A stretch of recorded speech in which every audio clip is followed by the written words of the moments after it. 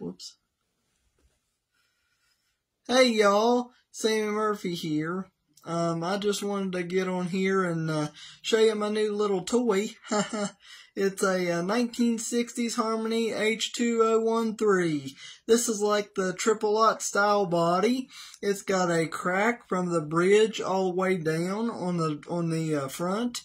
It's got a broken heel cap right there on the back. I don't know if you can see it or not. And it's got uh, capital mark right there on the headstock. And uh, this is just an all-around sound guitar, folks, and really good sounding guitar. And I just wanted to get on here and play a couple songs on it and see how what you thought about it and how it sounded. So uh, here we go. I